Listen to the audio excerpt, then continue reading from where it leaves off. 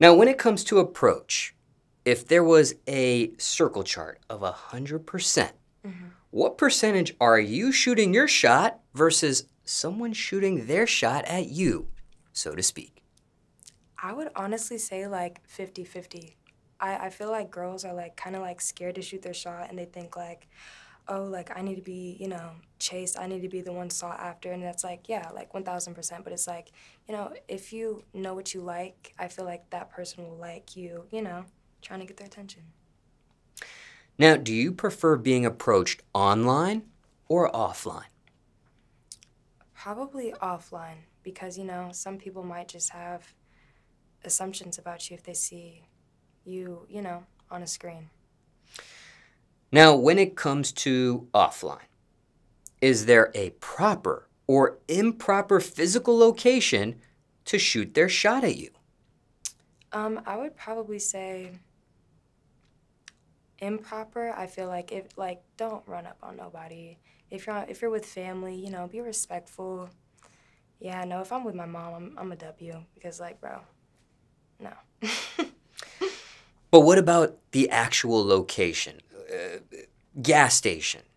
Oh, um, I mean that's kind of scary. So don't, please don't do that at no gas station. Yeah, no, it has to be in like daylight and um, you know somewhere where like people are around, so I don't feel, you know, scared. Post office. Fuck it. Grocery store. You know what? That would be nice. That would be nice. If I see a a man grocery shopping, I'll be like, wow, okay. That's probably a really low bar, but The gym. I would love that. At work. Um, I mean, I work for myself, so I mean, if they're working for themselves too, hell yeah.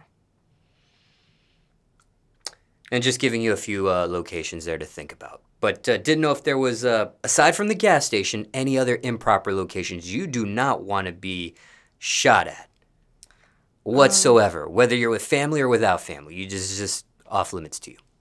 Um, I would probably say locations. Yes. Mm, like just nowhere sketchy for real. Like can't be no sketchy. Like I can't feel like you're. I can't say no. You know, girls don't like that. Now, what's the best way to approach you? What are the rules, the etiquette, the guidelines, the do's or don'ts before someone approaches you to date? Um, hmm. I'd probably say like you, you you gotta have a little bit of like swag. You gotta you gotta be cool with it. I feel like I hate people that are corny and try to be something that they're not. It's just it's just a no go. So like if you're yourself, and you know um, I'm liking what I see, and you know I I, li- I like people that are also like um, I like gentle ladies. I like gentlemen. I love people that are very much, you know, soft and sweet and don't come off too harsh. Anything else in regards to approach? Um, be sweet. Just be sweet.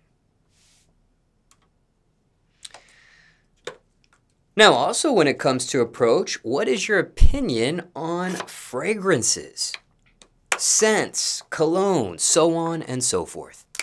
I love, I love when someone is smelling good. Me personally, I use perfumes and colognes just because I feel like colognes be lasting a longer time, but I also like like the fragrance of like, you know, like musky or like not musty, but like, you know, something, you know, um, manly, I guess, or like more like I don't know.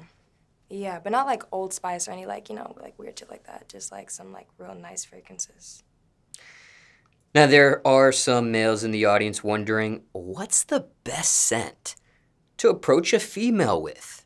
Now, of course, circumstances could be different for everybody, but can you help any of those out? I feel like Baccarat is just like a safe go to for real. And what about the amount of sprays or where to spray them?